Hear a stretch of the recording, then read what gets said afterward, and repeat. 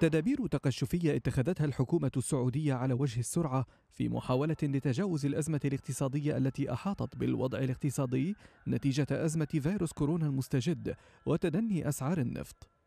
وكالة الأنباء السعودية الرسمية نقلت عن وزير المال محمد الجدعان قوله إنه تقرر إيقاف بدل غلاء المعيشة بدءا من يونيو المقبل كما تم رفع نسبة ضريبة القيمة المضافة من 5% إلى 15% بدءا من الأول من يوليو المقبل.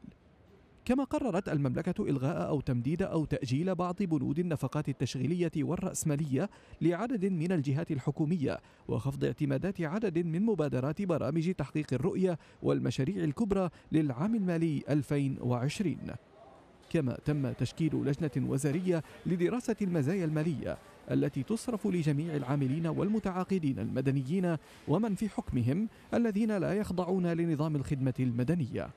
وأوضح الجدعان أن هذه الإجراءات تأتي استكمالا للقرارات المتخذة مسبقا للحد من تفاقم الآثار السلبية للأزمة من مختلف جوانبها الصحية والاجتماعية والاقتصادية. يذكر أن عدد إجمالي الإصابات بفيروس كورونا في المملكة وصل إلى أكثر من 39 ألف إصابة فيما تجاوز عدد الوفيات 245 وفاة.